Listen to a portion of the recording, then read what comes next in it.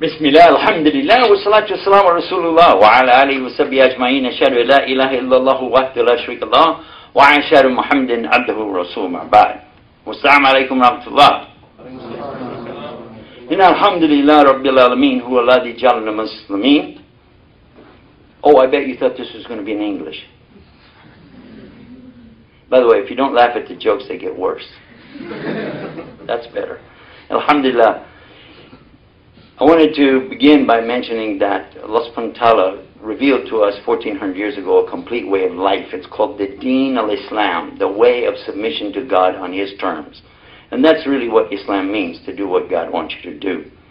We use the word Allah because there's no word in English to really describe the one only creator. They use the same word God, which is for anything worshipped, for God, the only one to be worshipped. Whereas in Arabic you have the advantage that when you want to make a distinction, it's real easy.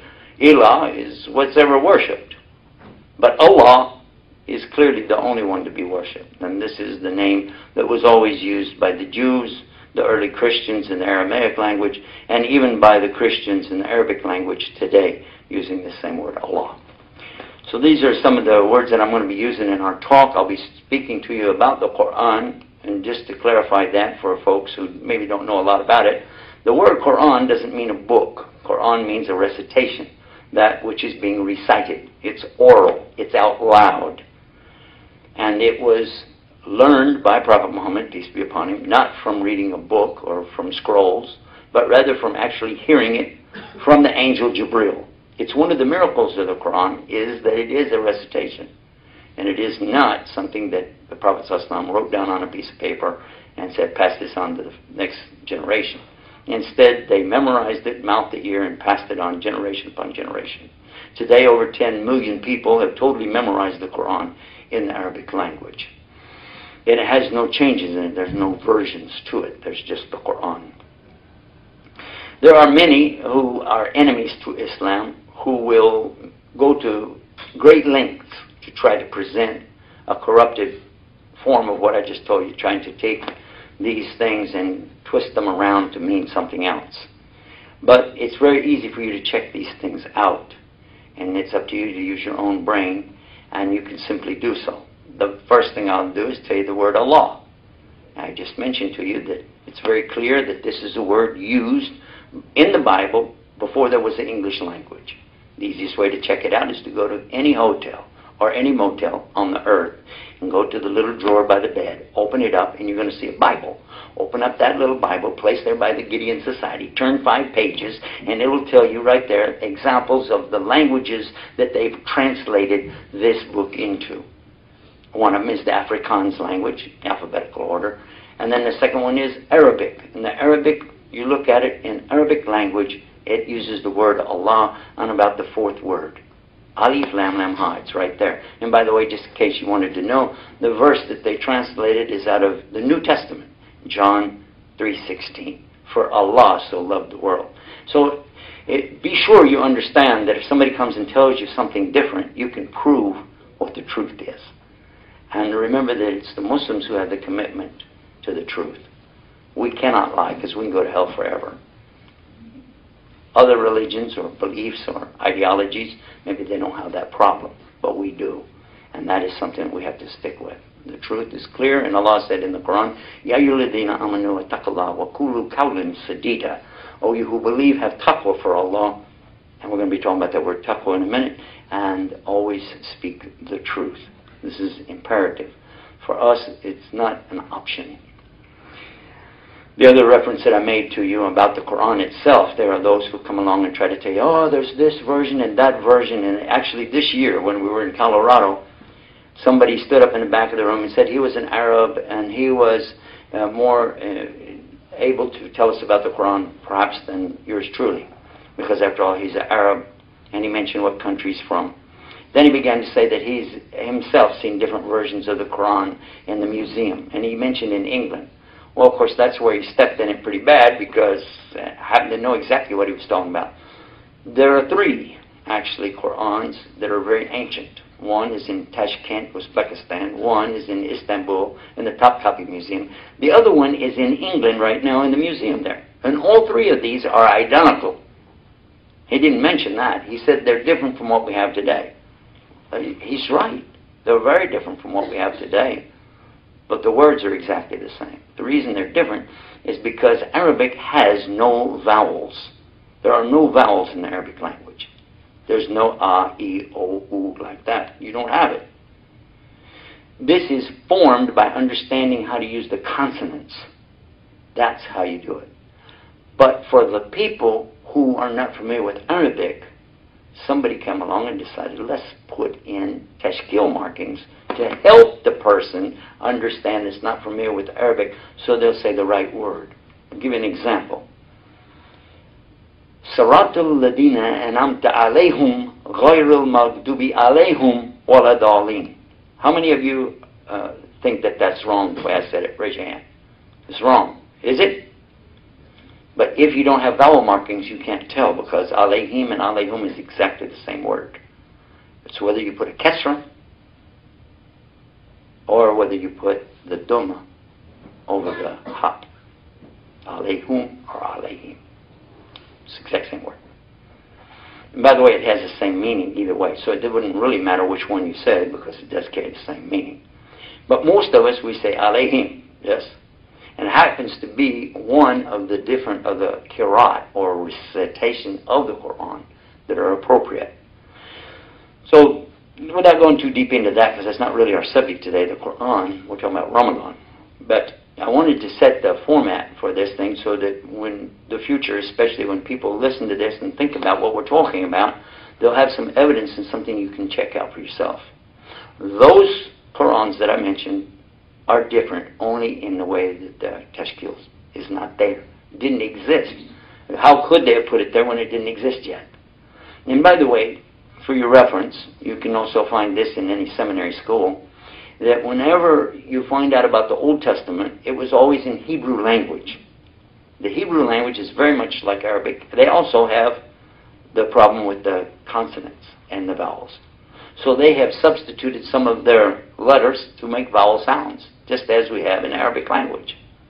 But it wasn't until the 9th century that the Jews began to use this same idea. It's called Masoretic text because the Masoretes are the ones who copied the idea from the Quran and put it in theirs the same way. So be sure when somebody starts to tell you this and that and the other, be sure to know that there are places we can get clear evidence to prove what the truth really is. And basically, that's what the message of Islam is about. It's about bringing truth with proof. Now let us talk about our subject today. Allah tells us in the Quran, Ya yuladina amanu.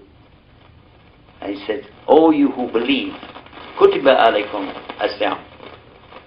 It's been ordered for you. There. That better? Yeah. It's been ordered for you to fast. The month of Ramadan, which is cited by the Hilal, the crescent moon, when it starts, that's when the Muslims start fasting. It's estimated for us that that's going to be tomorrow night that they'll start reading the Quran. And when they do, that will signify the beginning of the month because the months on the lunar calendar start from sighting the moon, which means obviously it starts at night. The lunar calendars for the Jews and the Muslims always start the night is the first day. So as soon as the sun goes down, that begins the day. That's why even today the Jews who honor the Sabbath, when the sun goes down on Friday night, that's when they start considering that their worship begins for the Sabbath. And it continues until the sun goes down again on Saturday night. And if you know anybody that's a Christian that follows the Seventh day Adventist, they're the same way, using the same exact calendar and also following that with Saturday instead of Sunday. For us, the verse in the Quran is clear. The believers are ordered to begin fasting, and then Allah says, and it was ordered for the people before you as well. Min qabli. Who are the people before us? And of course, Allah refers to them throughout the Quran as the Ahlul Kitab. The Ahlul Kitab means people of. Ahlul means people of. Such as Ahlul Nar, people of the fire. Billah, we don't want that. Ahlul Jannah, people of the paradise. And Ahlul Kitab, people of the book. Again, that brings a clear distinction between the Muslim and those who are Christian and Jew. Because Allah doesn't call Muslims people of the book. The book is the Bible. The Bible is the Kitab al-Maqdis, which means the sacred book, holy book. And that's exactly, when you translate it to English, Holy Bible, Bible is Koine Greek, and it means book.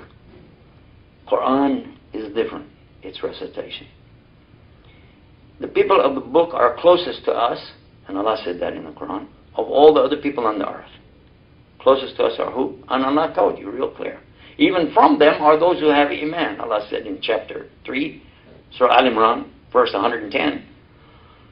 كنتم خير أمة أخرجت للناس تأمرون بالمعروف وتنهون عن المنكر وتؤمنون بالله. Now, most people think that that's where the ayah stops because they never really read it that close. But it continues. It continues, but I'm going to give you the translation first and then continue and let you hear the rest of it. You're the best of people raised up because you call to al-ma'ruf and you forbid al-munkar and you believe in Allah. And had the people of the book, see I'm continuing now, had the people of the book believed it would have been better for them, and from them you will find those who have iman, faith. But most of them are fasikun. Fasik means disobedient. Doesn't mean kafir. Means disobedient. Because we could have, for instance, a sister who doesn't wear hijab. She's still a Muslim. Absolutely. As long as she believes La ilaha illallah Muhammad Rasulullah, she's a Muslim. But it's fasik, which means disobedient to Allah subhanahu wa ta'ala. As long as that person wouldn't say, oh, I don't believe you have to. Because suppose a, a sister wears hijab, but she says, it's not in the Quran, you don't really have to do it, I just like it because it's stylish. Okay? This is worse, according to Allah, than the one who doesn't wear the hijab. Because it's one thing that you disobey Allah, but it's something much worse that you lie against the law. It's much worse to corrupt the teaching of Islam, and for that there's no, no excuse and no way to get out of the hellfire. So be careful of that subject. Okay, now I want to come back to the verse that I was talking about because it continues and it's talking to us very clear about this idea of ordered to fast, as the people before us were ordered to fast, and then look what it says. Did, you ever read it and understand? So that you'll get what? It tells you. Taqwa. And that's our word. Taqwa. I recall when Sheikh Ali Tamimi was once giving us the introduction to Ramadan, that he broke down, the first day, he broke it down and started with this word of taqwa. And he explained to us, what is taqwa? How many of you know what taqwa exactly? Anybody? You know what's taqwa? No? In the books, it always says piousness, piety, righteousness, yeah, so that you'll attain righteousness. But actually, in Arabic, it doesn't mean that. In Arabic, it means to put a petition up, to put a partition. And I've, I didn't just take Sheikh Ali's word for it. Although we love him very much, that's not what Islam teaches. It teaches us to get the knowledge to find out.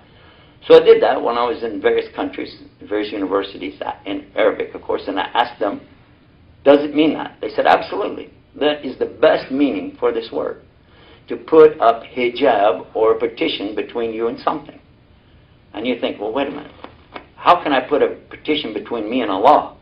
Allah can see everything, hear everything, knows everything. I can't do that. And that's true. But it's to put a partition between you and the imminent punishment that's coming. Punishment is coming on the day of judgment. And this is the way you put something between you and that punishment. You put up a screen or a hijab between you and the ghadab of Allah. Let's take it from the Quran and see if that's correct. Look to what you're asking Allah in Surah Fatiha. All of us, we know, we begin by praising Allah acknowledging that Allah is the only one we worship and the only one we turn to for help and guidance, yes? And then we say, Ihdina siratul mustaqim. Ihdi is the imperative of ordering somebody to do something. Do it. Ihdi means guide me. And if you say Ihdina, guide us to the siratul mustaqim, the straight path. Then you're defining that path. You say, Siratul ladina namta alayhim. That's the path of those that have the nama of Allah subhanahu wa ta'ala, the ni'mat of Allah, which is his biggest favorite. And then it says, and not the path, not the path of those who have the ghadab, ghadab of Allah. Maghdubi is ghadab. Not the path of those who have this anger, this punishment coming to them from Allah, wala dhalin, or those who go astray, those that are lost.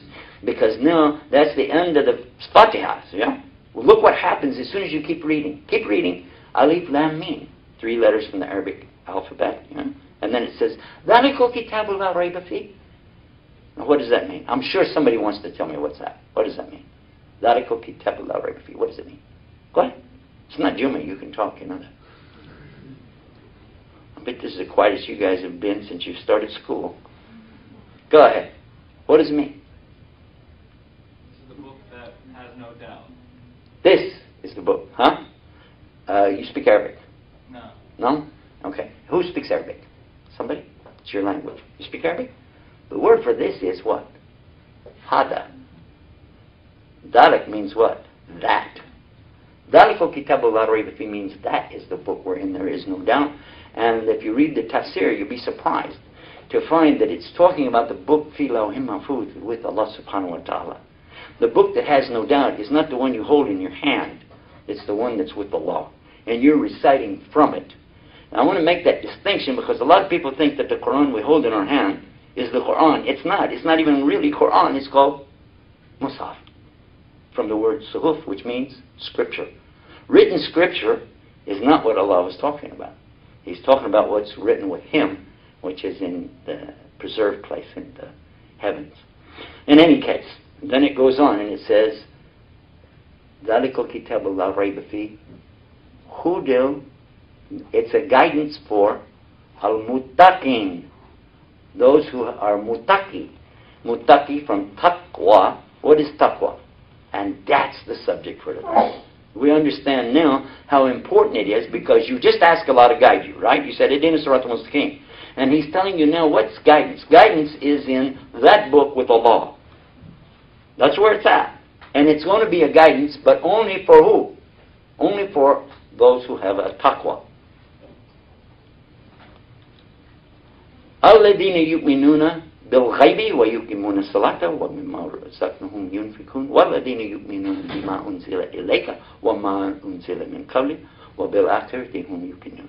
Ulaika lahudam wa ulaika hum.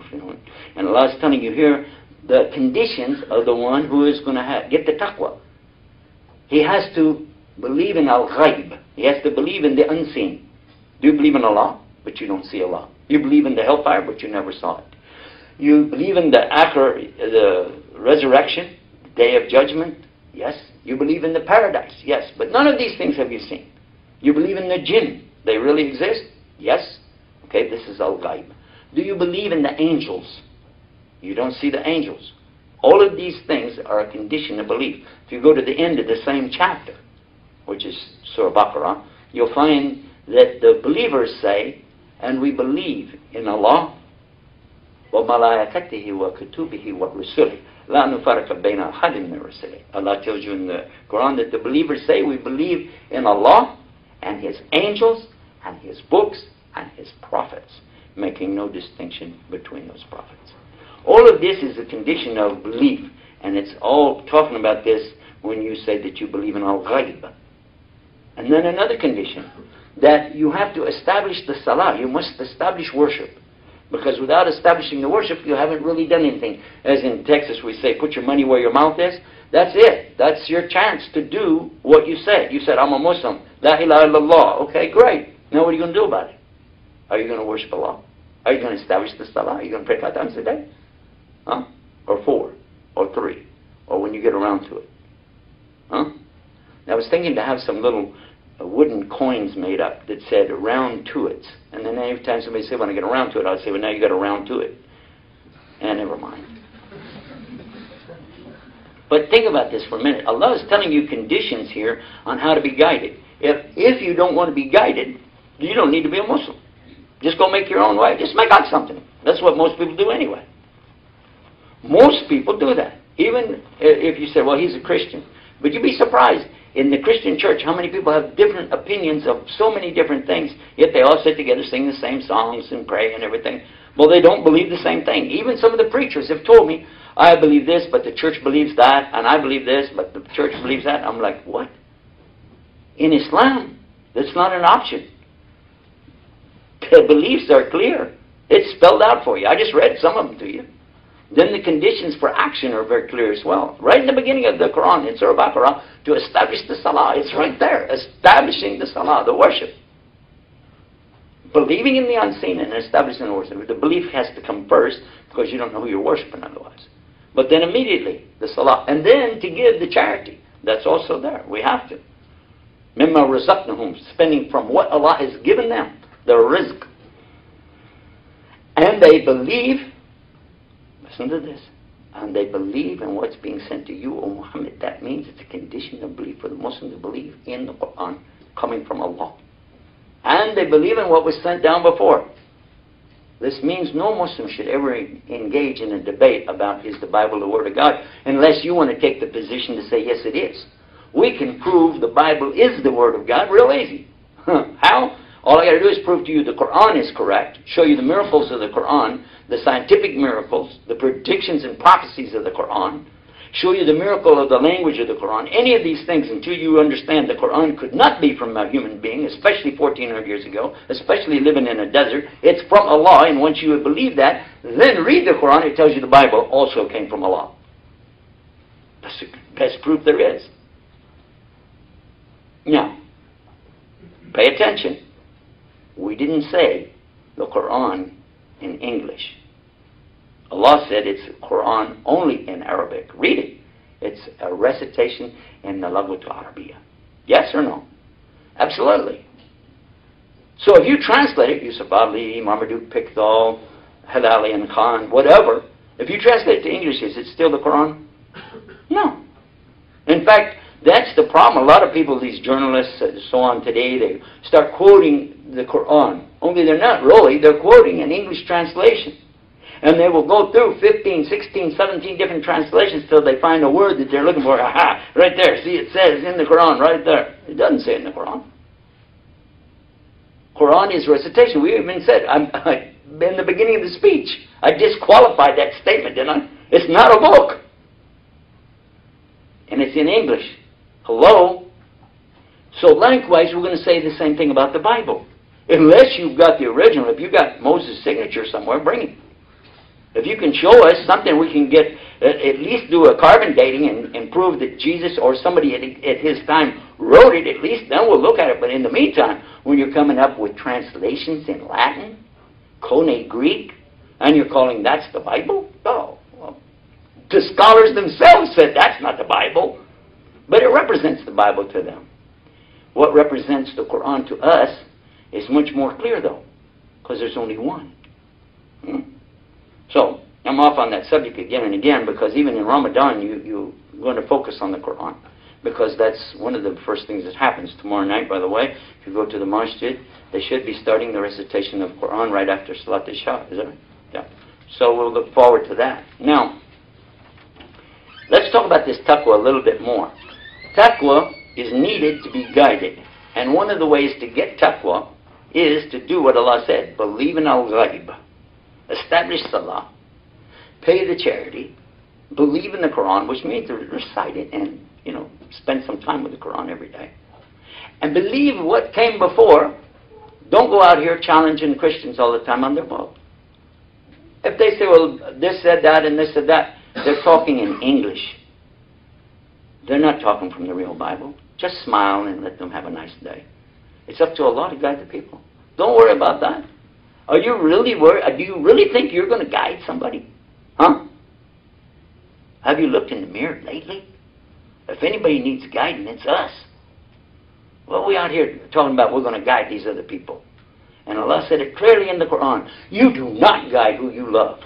It is Allah who guides whomever He wills. And He gives this guidance to those whom He knows has a good heart and that they will try. He doesn't guide those who don't want to be guided. You get people standing up in front of the minbar, even giving lectures, they're not guided. I just recently heard one, a sister, who said that the Pope was more like Muslims than we are. Uh, I didn't think that was on guidance. I really didn't. But yet she's got the command to get out here on the international television and speak. One of her platforms that she talks about is that, you know, women should be given khutbahs and things like this. But this is not guidance. This isn't guidance. Because anybody who wants to get up in front of the people and wants to go out here to promote something, this is not guidance. Myself standing here right now, if I wanted to come here for some purpose other than to share the deen of Islam, that wouldn't be guidance. If you need to be in front of a microphone to get people's attention, this is a personal problem that you've got. It's serious. It's a very serious problem because shaitan can come to you real easy that way. But to have real taqwa is to fear Allah so much that the reason you come to the stage and the reason you speak is because you're afraid of Allah if you don't do it. You're more afraid of Allah than you are of the people ridiculing you or making fun of you. Think about it for a minute. What would it be like if you had to stand up in front of 10,000 people and several television cameras and start speaking right now? Would it be hard for you? It's hard for me. Yet, I am more afraid of Allah. So when I go out there, that's why I put the trust first in Allah. And I said Bismillah, just like I did tonight when I came to you. I start with that, and then we'll see what happens. This fear of Allah, that's the subject that we're talking about, is something that has to be a part of your daily life. Before you even start talking about fasting, should be that every day you're thinking about Allah. When you do anything, do you worry what Allah is going to say or do you worry what the people are going to say? How are you going to dress today? What will you wear today? So you get up in the morning, you look, what will make me attractive to the girls? Huh? Or, I won't say it that way, what I'll say is, what will make me look the most presentable? To whom? How will I look when I go out? Will I put makeup on? How will I fix my hair? Will I? And if I'm doing that for the people, then this means what? I'm not doing it for Allah. So this taqwa is everything. And it should be something that is with you all the time. It could be stronger and weaker at different times, yeah. But that, that's normal because your mind is not going to always be focused on the same thing all the time. But when you can turn it on and off like a switch, this is a problem. This is a big problem. This is called hypocrisy, actually, that you can turn it on and be very righteous.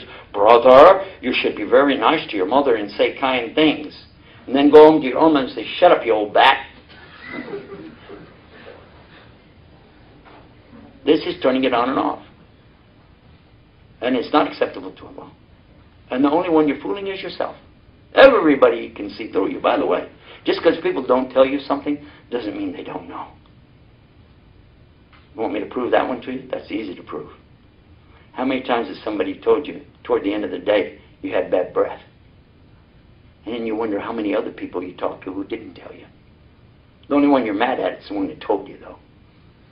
Isn't that something? The only friend you got, you're mad at them. They told you, by the way, brother, get some tips. Hmm?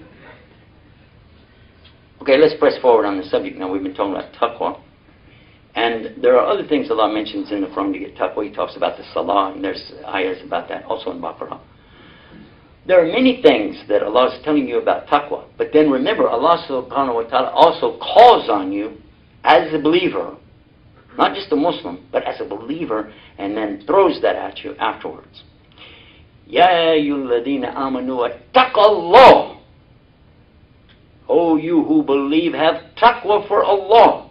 Put that petition up between you and His punishment, the inevitable which is coming.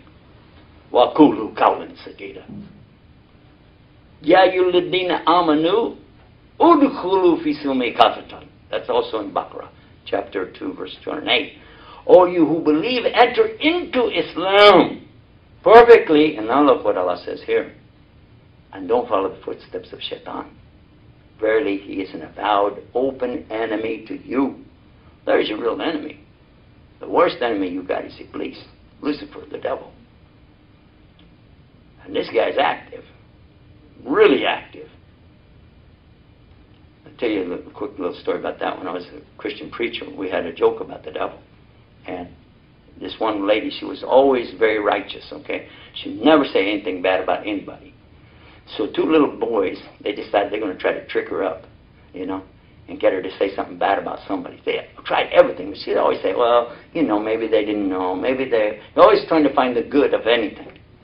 So when the lady's leaving, she was saying goodbye to the preacher and going home.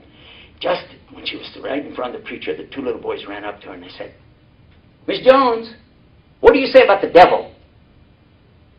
Ah, right in front of the preacher. What could she possibly say? Without even thinking for a minute, she said, Well, he is energetic. That's true. Got a lot of energy.